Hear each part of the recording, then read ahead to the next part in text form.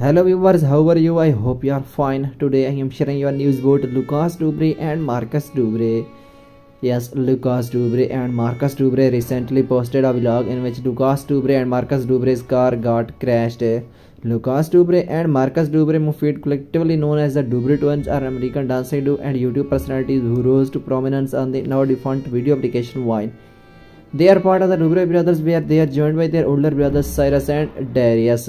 They born in Gaithersburg, Maryland, US. The Dobre brothers produce video content. Their content includes challenge videos, experiments, vlogs, dance videos, pranks, and lots of other content. The twins run their YouTube channel Lucas and Marcus while the brothers feature collectively on Dobre Brothers and Dobre Cars. But now they are totally fine. So if you want to know more details about Lucas and Marcus then subscribe our YouTube channel and stay connected with us. Thanks for watching.